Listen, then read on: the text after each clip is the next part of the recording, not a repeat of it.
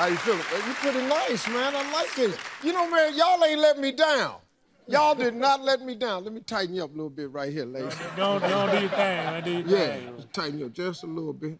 Right there, now you straight. You good, man. Yeah, I. See, y'all got bodies under there. See, I dress nice because ain't nothing under here. See, y'all take y'all shirt off and still be holding, be up in here. Women be screaming. I take my clothes off. It's a different story. I had one dude the other day, man. I was talking on the show. He said, uh, "Yeah, Steve, you, you got a little stomach on you." I said, "That ain't stomach. That's income."